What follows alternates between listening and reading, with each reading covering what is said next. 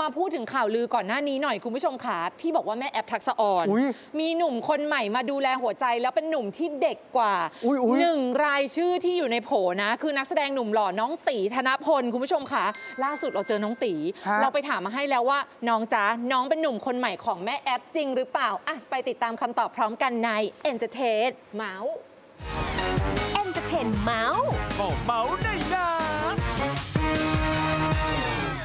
ก่อนหน้านี้ก็มีกระแสข่าวเมาส์กันให้แซดเลยละค่ะว่าหนุ่มตีธนพลคือหนึ่งในหนุ่มที่มีอายุน้อยตามขายขนมจีบนักแสดงรุ่นพี่อย่างแอปทักษะอ่อน ซึ่งหนุ่มตีก็บอกว่าเรื่องอายุอะมันเป็นเพียงแค่ตัวเลขไม่ได้มีกฎเกณฑ์อะไรมาจำกัดในเรื่องของความรัก และแม้ว่าทางแอปจะออกมาดับฝันว่าเป็นเพียงแค่ข่าวลือเท่านั้น แต่ทางด้านของหนุ่มตีเขาก็ไม่เสียใจนะคะ กลับดีใจสัดด้วยซ้ำเอ้าทำไมมันเป็นอย่างนั้นล่ะคะ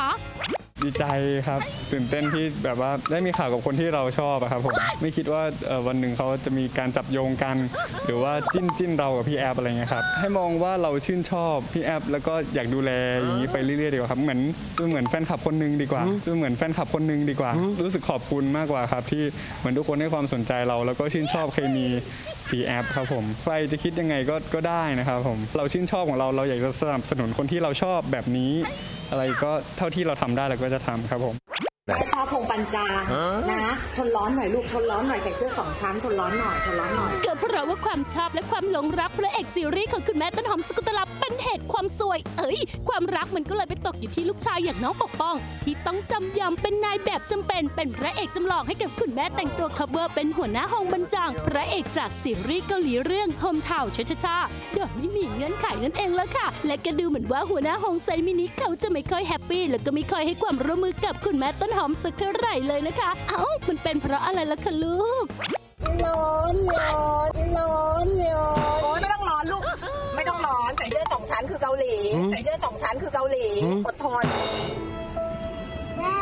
อดทนจริงๆหนาวมากหนาวมาก ถ้าแม่บอกหนาวลาดเท้าคือสวิตเซอร์แลนด์ ถ้าแม่บอกหนาวลาดเท้าคือสวิตเซอร์แลนด์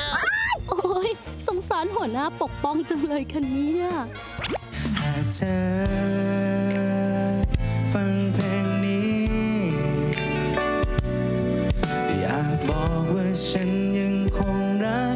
ก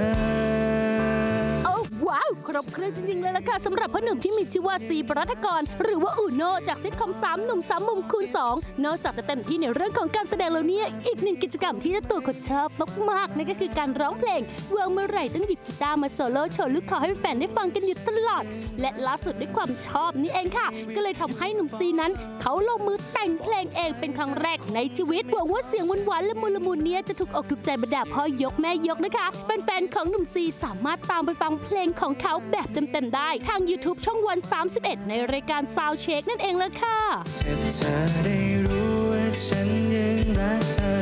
Wanna be with you forever บอกไปเธอคงจะไม่เข้าใจความหมายฉันนั้นยังรักเธอ ชมยังไม่จุใจกับข่าวบันเทิงเนี่ยตามไปแซ่บกันต่อที่เพจ Facebook ของวันบันเทิงนะคะ โอ้